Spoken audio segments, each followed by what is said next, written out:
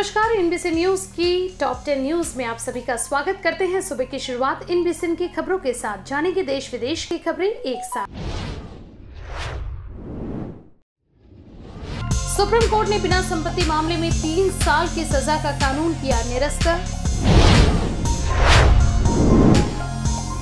अरविंद केजरीवाल का दावा, बीजेपी जल्द ही गुजरात प्रदेश अध्यक्ष सी आर पाटिल को देगी हटा।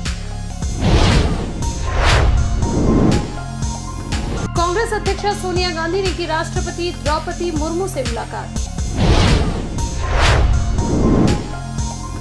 टिकटॉक स्टार सोनाली फोगाट का गोवा में हार्ट अटैक से निधन बीजेपी के टिकट पर चुनाव भी लड़ चुकी है सोनाली। भारत में कोरोना के आठ नए मामले, एक्टिव केस घटकर हुए छियानवे स्वास्थ्य मंत्रालय की रिपोर्ट। नागपुर जा रही शिवनाथ एक्सप्रेस ट्रेन छत्तीसगढ़ के डोंगरगढ़ में पटरी से उतरी। फ़िलहाल कोई जनहानि नहीं।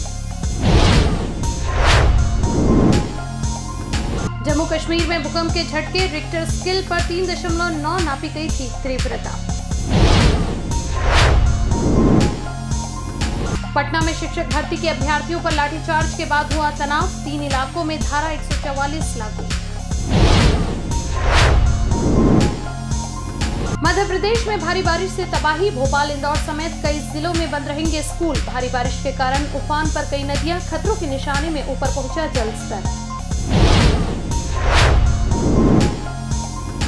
और भारत ने तीसरे एक दिवसीय मुकाबले में जिम्बाब्वे को 13 रन से हराकर जीत की अपने नाम दर्ज।